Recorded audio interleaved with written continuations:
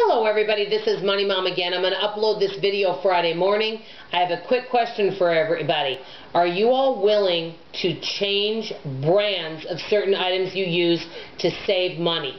That's my big question for today. Let's get started. I'm not going to go through a lot of products. I'm just going to use primarily one product uh, that I want to tell you about. I know there's lots of different products out there, and I'm just going to basically say, for example, if any of you ladies wear makeup, makeup, like you could look at lipstick, there is such a price difference with items such as protein powder, vitamins, makeup, and many more, and food items. I haven't even covered many food items. There's such a difference in price difference.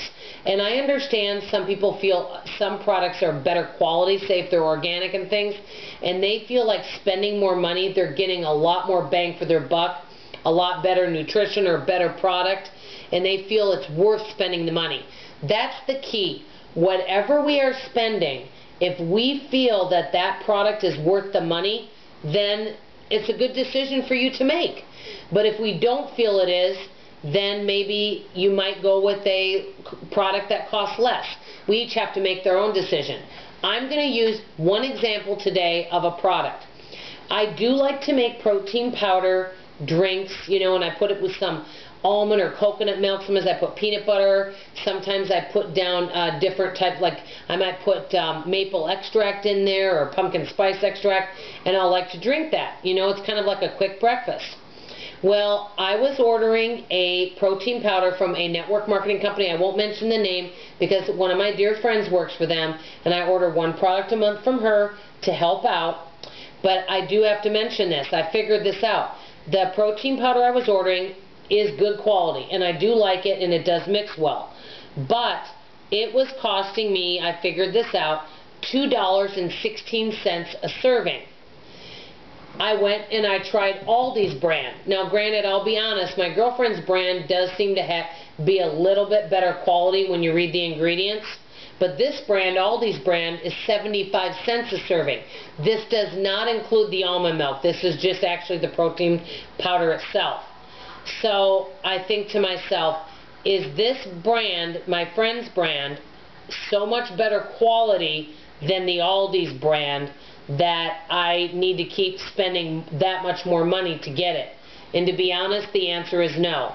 And I've noticed that with a lot of things. You know, whether it's vitamins, lotion, this is some body cream that I got at the Dollar Tree. I love it. It's English Rose Blossom. It's a dollar. I've spent a lot of money on certain items such as vitamins, lotions, you know, protein powder. And I'm not saying there's not some that when you spend more money that you are getting such far superior quality that it's not worth it.